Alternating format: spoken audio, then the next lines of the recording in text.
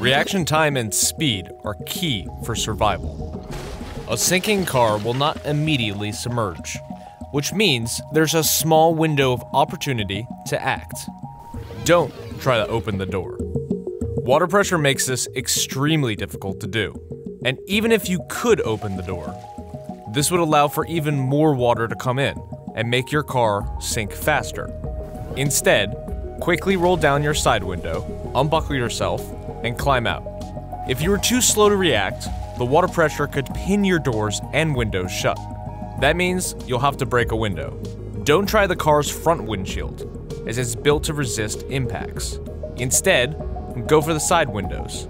Use your foot to kick at the top of the window, or remove the headrest from your seat and jam it where the window meets the door. You can also use a glass breaking tool like resqme to quickly break the window. It can easily be stored in a glove compartment or on your keychain. And if the car is upside down and your seatbelt is locking you in, the tool can even cut you free. Immediately take a deep breath of air and swim out through the rushing water towards safety.